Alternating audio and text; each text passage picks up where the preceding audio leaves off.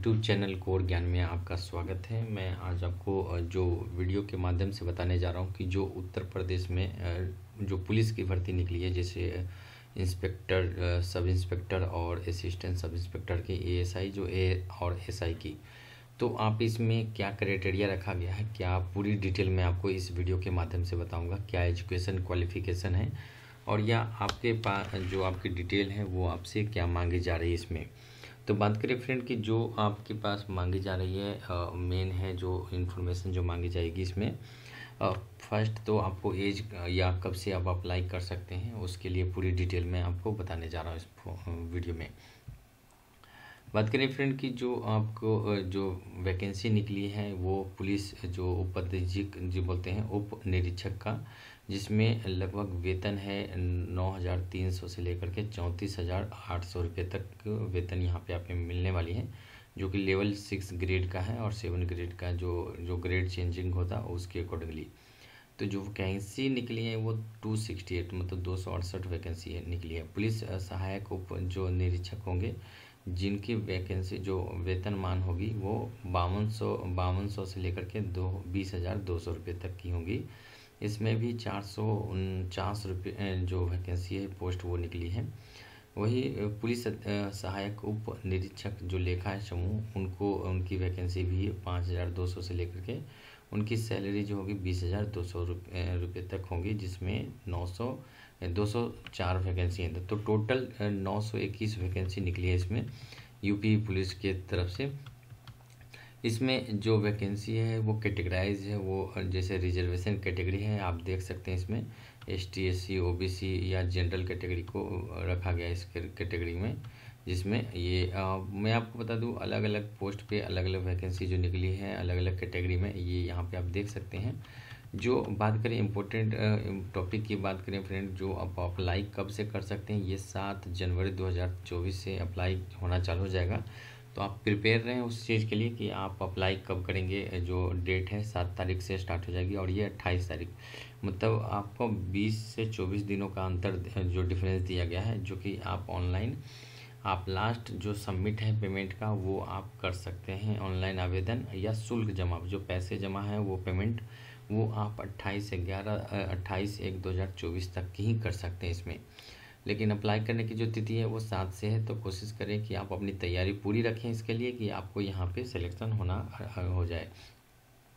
बात करें जो पेमेंट है, प्रक्रिया है, जो जो पैसे लग, यहाँ पे लगेंगे एप्लीकेशन फ़ीस जिसे बोला जा रहा है, चार सौ रुपये आपको यहाँ पे एप्लीकेशन फ़ीस दिए जा मतलब आपको देना अनिवार्य है। यदि आप इस फॉर्म के लिए अप्लाई कर रहे हैं तो इसमें ये है कि आपके भारतीय होना ही अनिवार्य है बस, और ये इसमें ऐसा बिलोंग्स नहीं है कि आप यदि अभी किसी स्टेट से बिलोंग करते हैं तो अदर स्टेट पे यदि आप अप्लाई नहीं कर सकते फ़िलहाल।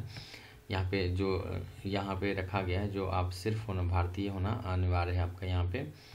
यदि आप किसी अदर स्टेट से बिलोंग करते हैं तो आपका वहाँ पे जो भी डोमिस, यदि यूपी से बिलोंग करते हैं तो आपको यहाँ पे डोमिसाइल भी आपका अनिवार्य होगा फ्रेंड इसमें। यदि आपका, आपको यहाँ पे ज़रूरी है लाना जो मेन पुलिस उप निरीक्षक है, जिनकी जो पद के लिए है, वो भारत का विविधि द्वारा स्थापित विश्वविद्यालय मतलब ग्रेजुएशन होना ज़रूरी है। जो टाइपिंग स्पीड है फ्रेंड वो कम से कम 25 शब्द प्रति मिनट मतलब 25 वर्ड्स पर मिनट इनको टाइपिंग करना होगा, जो कि हिंदी में होना चाहिए, तथा 30 जो है थर्टी शब्द है थर्टी वर्ड्स पर मिनट है, वो इंग्लिश में लिखना उनको आना चाहिए ये। तो ये क्राइटेरिया फिलअप कर रहे हैं। यदि न्यूनतम अस्सी शब्द प्रति मिनट की गति से हिंदी अनुशील से उत्तर प्रदेश पुलिस भर्ती एवं प्रतिनिधि बोर्ड द्वारा सुधाधिकार के विद्यार्थियों को सफल घोषित किया जाएगा।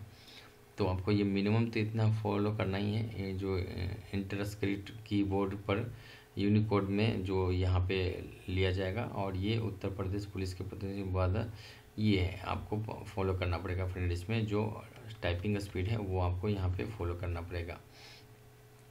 बात करें फ्रेंड जो आपको यहाँ पे जो मतलब फ़ोटो है आपका, उस, या आपकी जो डिटेल है, वो आप फिलअप कैसे करेंगे? वो, या आप, जैसे अनमेरिड है मैरिड है, उनकी यहाँ पे है। लेकिन जो शारीरिक जो स्वस्थता है, उसके बारे में बात करें, किसी भी अभ्यर्थी को सेवा में किसी पद पर नियुक्ति नहीं किया जाएगा, जब तक कि मानसिक और शारीरिक दृष्टि से उसका स्वच्छता अच्छा ना हो। तो यानी मेन है कि जो आप यदि आप फिजिकली फिट हैं या आप मेंटली फिट हैं, तभी आपको यहाँ पे लिया जाएगा इसमें। भर्ती की प्रक्रिया है फ्रेंड इसमें भर्ती की जो प्रक्रिया है, आप जो मैं आपको जो पोर्टल दिखा रहा हूँ यहाँ पे, ये H T T P S U P P B P V dot G O V dot in पर आप यहाँ पे जा कर के अप्लाई कर सकते हैं। ये जो अब ऐसे अभ्यर्थी जिनका आवेदन सही पाया जाएगा, उनको चार सौ अंकों की ऑनलाइन लिखित परीक्षा में सम्मिलित होना होगा। तो जो अप्लीकेशन पूरी तरह से फिलअप करेंगे, उनको यहाँ पे एग्ज़ाम देने के लिए एग्री मतलब आगे प्रोसीड किया जाएगा, जिसमें चार चार सौ अंकों की ऑनलाइन लिखित परीक्षा होगी इसमें, जिसमें आपको लगभग दो सौ क्वेश्चन होंगे। दो सौ प्रश्न के क्वेश्चन आपको दिए जाएँगे। उत्तर जो देने होंगे टोटल ढाई घंटे के। अंदर ही आपको ये कंप्लीट करना है, इसको ये जो एग्ज़ाम है आपको ढाई घंटे के बीच में कंप्लीट करना है। तो ये जो चार सौ अंक का होगा, जिसमें कंप्यूटर ज्ञान, समान हिंदी ज्ञान, जो जनरल नॉलेज जिसे बोलते हैं, वो आपकी फ़िज़िकल फिटनेस लास्ट में दिखी जाएगी बुद्धि, ये जो एक तरह से आपको सिचुएशन बेस्ड क्वेश्चन दी जाएगी।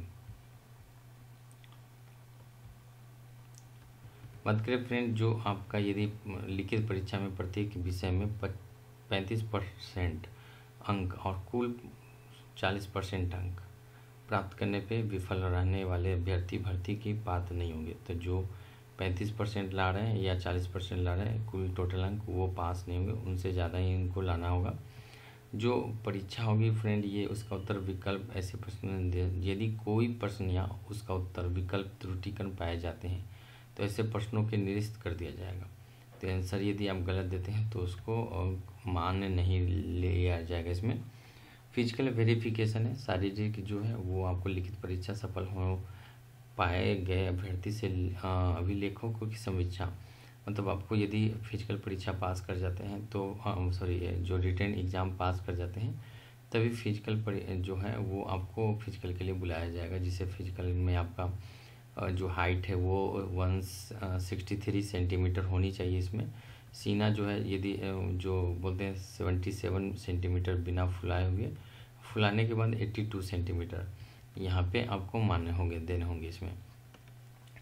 ये जो अलग अलग कैटेगरी में भी यहाँ पे रखा गया जो टिप्पणी है, न्यूनतम जो पाँच सेंटीमीटर सीने का फुलाव अनिवार्य है। महिलाओं के लिए न्यूनतम शारीरिक मान्य पे है। इनकी जो जो मेन है वो हाइट और वेट, ये दोनों मेजर होंगी। महिलाओं के लिए चालीस, जो किलोग्राम आपका होना अनिवार्य है यहाँ पे जो लिखाया गया है इसमें। कंप्यूटर टंकन के हम असली बात करें जो कंप्यूटर का जो एग्ज़ाम होगा, उसमें आपकी जो टेस्ट ली जाएगी, वो आपको दिया जा, देना होगा यहाँ पे। बोर्ड की जो वेबसाइट है, वो आपको यहाँ पे देने होगा। जो चयन हो जाएँगे, जिनका हो चुका होगा, जिनका सिलेक्शन हो गया, उनको आवेदन पत्र में अंकित एक क्रम पर आधार पर प्रत्येक पद के लिए निश्चित दृष्टिकरण आपको यहाँ से गवर्नमेंट की तरफ़ से इन्फॉर्मेशन दी जाएगी कि आपका सिलेक्शन हो चुका है। चिकित्सा परीक्षा है, जो जिसे बोलते हैं फ़िज़िकल, आपका टेस्ट होगा, जैसे मेडिकल एक तरह से टेस्ट होता है, उसमें आपका यहाँ पे निरीक्षण किया जाएगा आपका, फ़िज़िकल टेस्ट किया जाएगा। जो चरित्र सत्यापन है, वो जैसा कि एफआईआर या कोई पुलिस केस आपके ऊपर में नहीं है कि नहीं, वो चेक की जाएगी आपको इस यहाँ पे। तो अलग अलग मेरिट पे आपको यहाँ पे सेलेक्शन होने वाला है। यदि लंबम जैसे वर्टिकल है, यहाँ पे अनुसूचित जाति के लिए और अनुसूचित जाति के लिए यहाँ पे जाति प्रमाण पत्र होना ज़रूरी है, अनिवार्य है, आपको जाति प्रमाण पत्र सबमिट करना ज़रूरी है इसमें। यदि कोई कैटेगरी से बिलोंग करते हैं जिसमें आपको छूट दी जाती है तो आपको यहाँ पे अपना डिटेल या अपना जो जो प्रूफ है, वो आपको यहाँ पे सबमिट करना पड़ेगा फ्रेंड तो जैसे कि मैंने आपको बताया अलग अलग कैटेगरी में अलग अलग ये पोस्ट रखा गया है कि आपको डिटेल यदि कोई आप भूतपूर्व सैनिक हैं, पहले भी आप काम कर चुके हैं तो यहाँ पे आप इसको डिटेल को सबमिट कर सकते हैं।